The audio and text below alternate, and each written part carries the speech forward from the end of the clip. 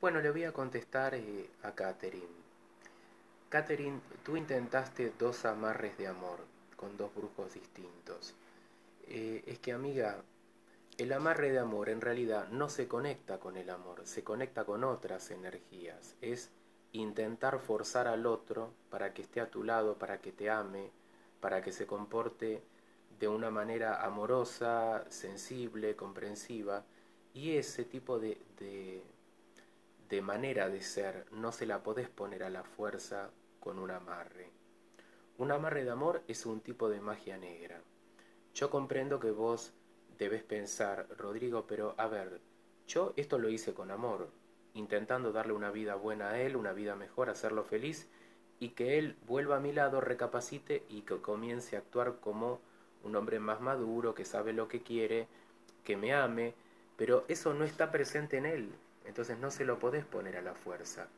Está muy bien si vos querés hacer endulzamiento, si vos querés armonizar, hacer alguna limpieza con alguno de estos brujos.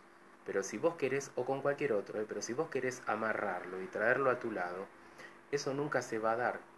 Vos estás forzando a la que, a la, que la persona actúe con amor. ¿Y qué pasó? Que las dos veces regresó a tu lado, duraron muy pocos días y luego se pelearon de peor manera. Bueno, es que eso es la prueba de que la relación no está funcionando. ¿Sabes por qué? Porque hay una crisis muy fuerte, este hombre no está enamorado, tampoco está seguro de qué camino tomar. Entonces, en momentos de crisis, de depresión, cuando se siente mal, regresa con vos unos días, una semana, y luego se da cuenta que no quiere estar a tu lado, que no te ama, que no se siente bien, y empiezan a pelear ustedes por cualquier eh, tontería, cualquier causa pequeña, y terminan de mala manera los amarres no son efectivos, por eso él no regresa a tu lado y les dura la relación y es armoniosa y es linda. Les dura el bienestar 10 minutos, media hora, una hora, después empiezan otra vez los problemas porque básicamente son las mismas personas ustedes.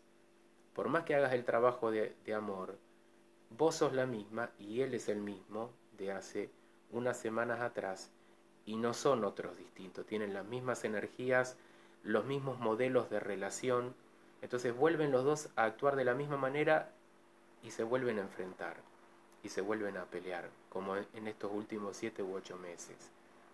Esa es la explicación de que los amarres no, no sirven, que no se conectan con el amor y son intentos desesperados de que las cosas funcionen, que no, no terminan de dar resultado. Y en todo caso, si vos querés hacer algo energético, hacelo de magia blanca, o hace algo que tenga que ver con la sanación, con la limpieza, pero no amarres, no magia negra. Eso no va a dar resultado, amiga.